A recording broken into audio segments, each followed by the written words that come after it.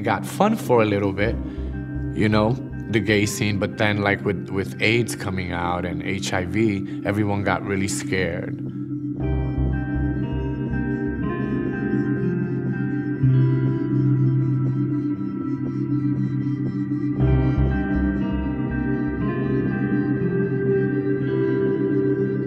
I think it was a time where um, something new was needed, something new and artistic, something out of the norm.